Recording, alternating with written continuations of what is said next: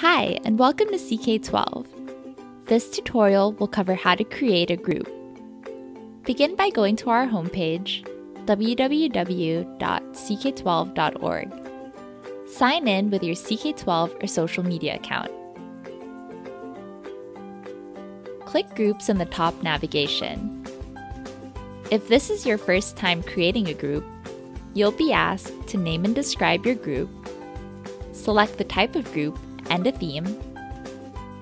Finally, click Create Group.